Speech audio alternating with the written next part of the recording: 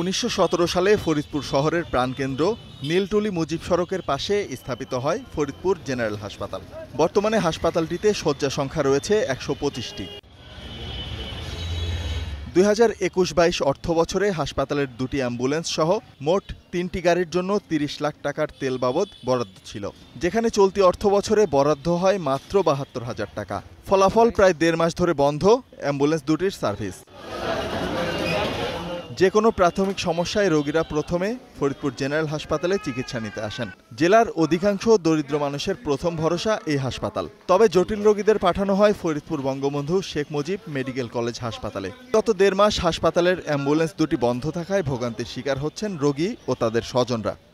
এখানে একটি চক্র রয়েছে যারা এই ধরনের অ্যাম্বুলেন্স এবং বহিরাগত বিভিন্ন হসপিটালগুলোতে বিভিন্ন সেবা নেওয়ার জন্যে এখানে অনেক কিছুকেই অচল বলে, অনেক কিছুকেই সংকট বলে, যেটা আমার কাছে মনে হয় পরিকল্পিত। ভাবতে অবাক লাগে যে সংশ্লিষ্ট কর্তৃপক্ষ কি খামখেয়ালিপনা করে, নাকি তাদের স্বাস্থ্য খাতের প্রতি, জনগণের প্রতি তাদের দায়বদ্ধতা একেবারেই শূন্যের কোঠায়? আমি সংশ্লিষ্ট কর্তৃপক্ষের প্রতি উদাত্ত আহ্বান জানাব।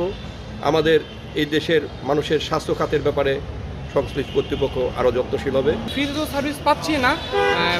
মিনিমাম এক থেকে দেড় মাস বা দুই মাসের মতো এই অ্যাম্বুলেন্স সার্ভিসটা বন্ধ রয়েছে তেলের কারণে।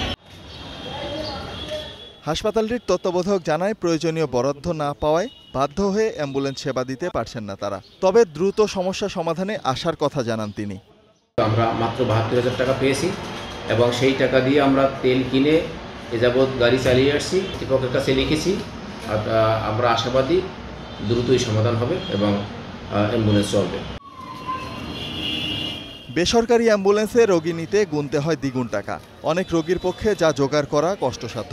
তাই দ্রুত সমস্যা সমাধানের দাবি জেলাবাসীর।